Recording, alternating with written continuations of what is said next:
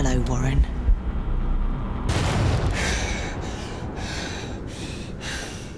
Oh, and a new pair of shoes. That might be a girl thing. Men never get the whole shoe thing, do they? How can you spend that much money on a pair of shoes? What are you talking about? Shoes.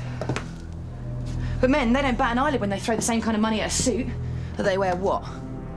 Once? Twice? Weddings? Funerals? You're alone for two minutes.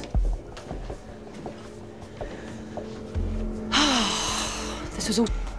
That's what this is about. It's everything. I get it. You're blaming me because your pathetic life got messed up. All roads lead to you. I just can't shut it out. Day one.